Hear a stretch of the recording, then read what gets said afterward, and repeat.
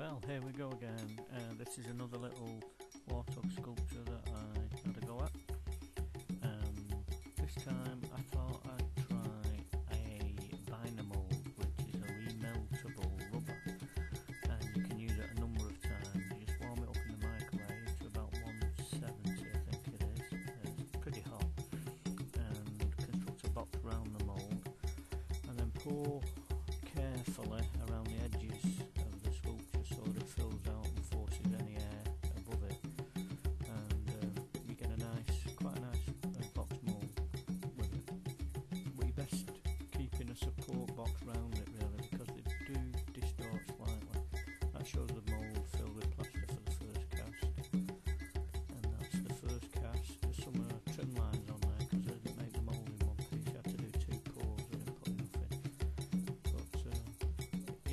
very quick moulding uh, process. You can knock these moulds out in probably, well, constructing the box takes longer than boiling the rubber and uh, pouring it into the mould. It takes probably three or four hours to cool down so it's safe.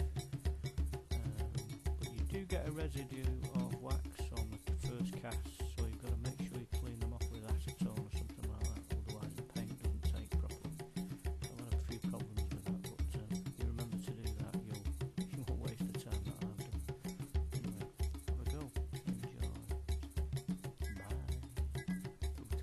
a